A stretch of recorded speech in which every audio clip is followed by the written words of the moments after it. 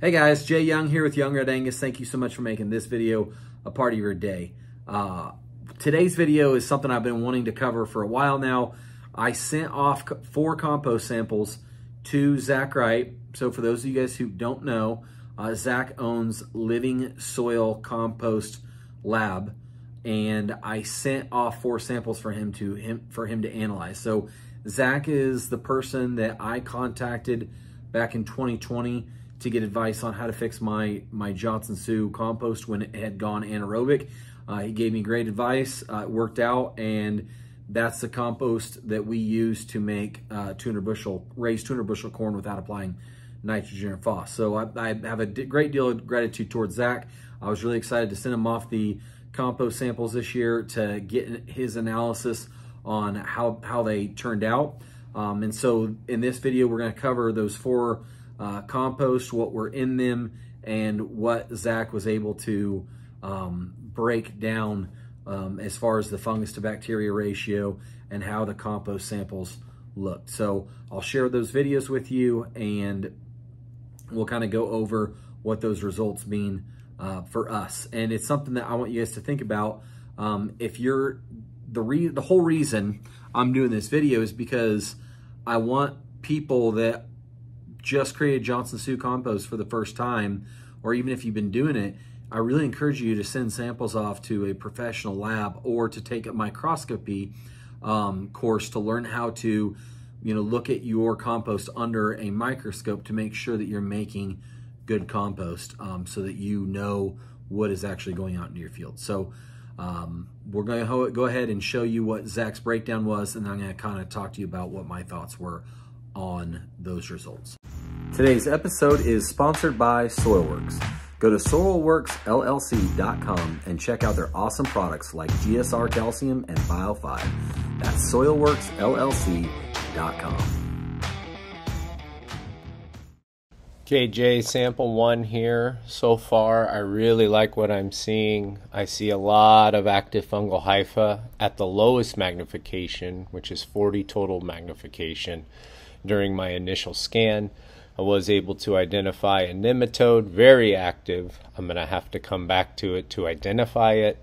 Oftentimes, we have to heat up the sample with a lighter in order to uh, slow it down. But I will do that at the end of this sample, as if I do that at the beginning of the sample, I could dry out the whole sample and then it just leads to issues with counting. So I'm going to begin now with the formal assessment where I will be doing 20 fields of view and we'll see what's there. But already in this um, field right here, we see a testate amoeba in the middle. We see several strands of clear fungal hypha.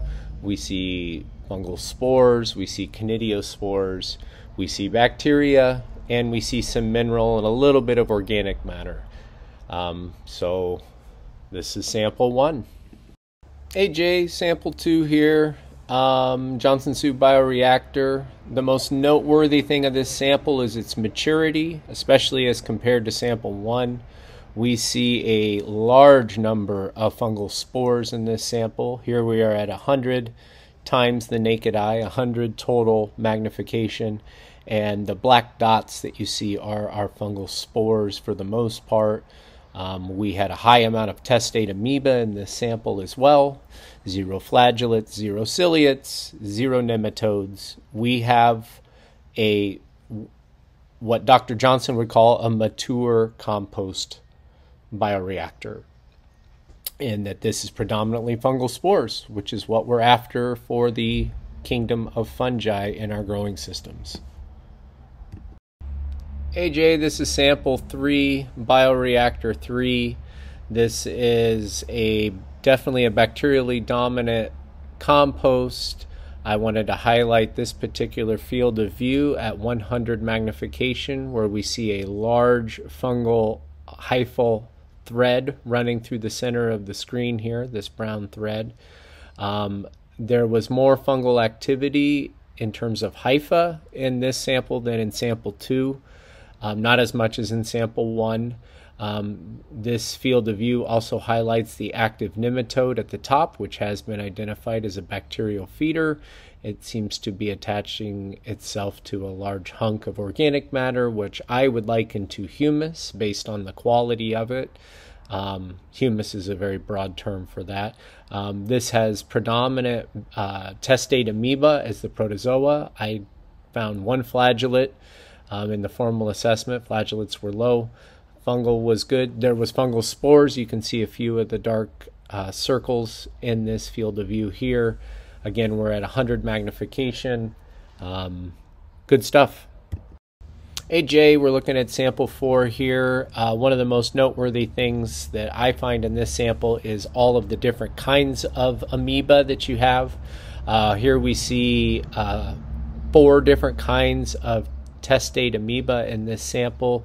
The gold circular one just left of center, the pink pill-shaped one just right of center, and then to the left of the pill-shaped one we have, you can kind of see the two clear testate amoeba. We're at 100 magnification.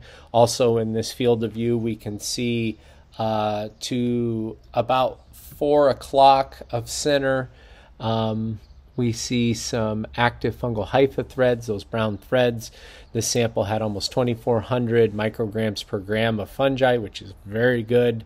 Um, this is, I would say, about an equally bacterial to fungal dominant. However, I have yet to count the bacteria yet. Just wanted to highlight this sample four. Sample four is good, good diversity, fungal feeding nematodes. Excellent work. Guys, if you want Zach to give you a breakdown of your compost, go to Living Soil Compost Lab LLC um, and email him and just tell him what you're wanting to do with your compost or what kind of results you want to get back or what you want to kind of do with your soil samples or your compost. And he'll get back with you and uh, you can send off your compost uh, to Zach to, for him to do an analysis. Um, he's not a paid sponsor of the show. I really appreciate him doing this and I appreciate the service he's offering to people. And so I wanted to make sure you guys were aware of how you guys can also um, utilize his services. Okay, guys, that kind of gives you an idea of how the compost turned out for us. Um, I had nine total bioreactors. Um, I picked the four of them that I wanted to get an idea of how they turned out. Um, a lot of the wheat straw ones didn't turn out well. Um, actually turned it, or I did, let's see here, five wheat straw ones, and I ended up using compost out of two of them. Um, one of them, and then I've got another one that it we made it in July, so I'm going to use it on wheat. But anyway, the first one was straight corn stalks. The next one was, the next two were 60% corn stalks, 20% uh, grass clippings, 10% uh, horse manure, and 10% wood chips. The last one was 60% wheat straw, 20% grass clippings, 10% wood chips, and 10% horse manure. So the thing I want to bring up on this is, you know, the one was bacteria dominant, um, and that's kind of what throws me off a little bit because one, two, and three were fairly different on how the samples came out, um, but they were all done the same. So I don't know if it's a function of where it's coming out in the bioreactor or, um, you know, what the situation is there. But my point in making this video is, is that you want to send these, your, your samples off to a lab um, that you can trust that is going to give you these results. Um, something else I should have done that I'm going to do next year is do a PLFA test on the compost, and then that'll give you a, a good breakdown of what's in there as well. Um, and then I've done a BeCrop in the past. Um, these are all, all good tests to kind of give you an idea of what is in your bioreactors. The, the benefit of the BeCrop is, is a straight DNA uh, test. And so you're going to get the DNA breakdowns of what is in there. Um, the problem is, with the DNA test is it will give you the types of bacteria and the types of fungus and the different species of each, but you may be 50-50 on both, like 400 species of fungus, 400 species of bacteria, but you don't know if you actually have way more bacteria, like, you know, they're even on the amount, but there's actually more bacteria than fungus or you have more fungus than bacteria.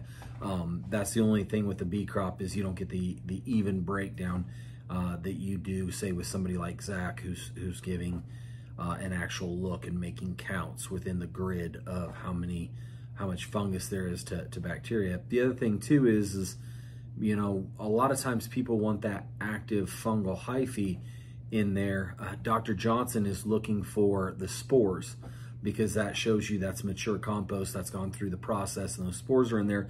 And then you're going to put that spore those spores through the extraction process. And then if you fertigate or if you do go in furrow plant use compost extract in furrow or if you do a foliar you're going to get that into your soil. Or even doing the seed treatment you're getting those spores and you're getting the the endophytes within your your seed and getting it into the soil the conclusion that I've come to with myself is, is that I'm going to continue to use, this year didn't go out the way I wanted it to. We got three that were corn cornstalk based and then I ran out of corn stalks. So then uh, we ended up having spoiled silage in our feed truck. We did two with just the, the spoiled silage um, that had a little bit of beardless trip. And then we did one where we added more beardless trip to the silage, made one like that and then we made two which is straight beardless triticale hay. Well, one had a little bit of wood chips and biochar in it, but I digress. The reason I did a whole bunch of them is just, to see how the results on doing the variety would go. And then next year, I've really got to get locate some uh, leaves and get that added to our bioreactors to see how much of an impact leaves make because Dr. Johnson really likes the way the leaves turn out. Um, so yeah, it's something, this is something that it shows you that we want to be, everybody's running into this and doing this because it's so efficient, but we're, we're really, as far as farmers doing it, as far as I'm doing it, I've got a lot to learn.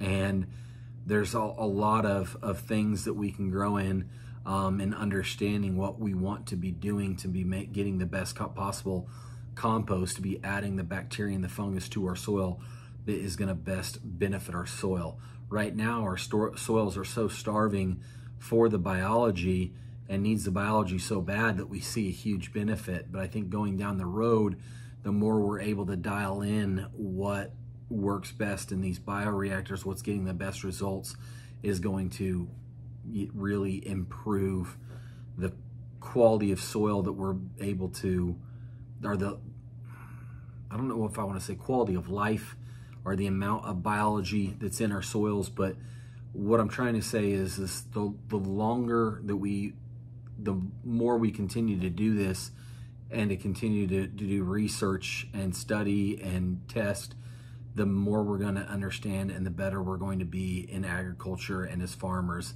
in producing the healthiest soil and the healthiest crops for the consumer. So please continue to go down this path with me where we're pursuing soil health and uh, doing the best that we can be to be the best possible farmers, um, which is better for everybody, the consumer and the producer. So I hope you guys enjoyed this video and it was helpful. If you have thoughts on videos you want to see, leave it in the comments below. Um, appreciate you guys. Appreciate you watching this video. Jay Young, out.